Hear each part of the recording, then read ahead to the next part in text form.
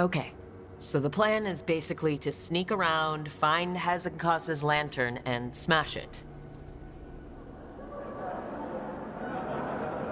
It's quite a crowd over in the manor. Johanna's gathering. If she's mingling there, we'll be spotted. Fortunately, we have someone who could pass as a servant. Manfred, can you pour fancy wine and nod? Send him in. Right, Manfred. You're to find Johanna's guests and help us gather information on where her workshop might be.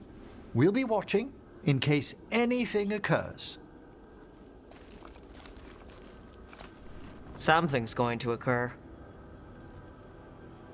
Once we find and destroy Johanna's lantern, we'll end whatever she's planning.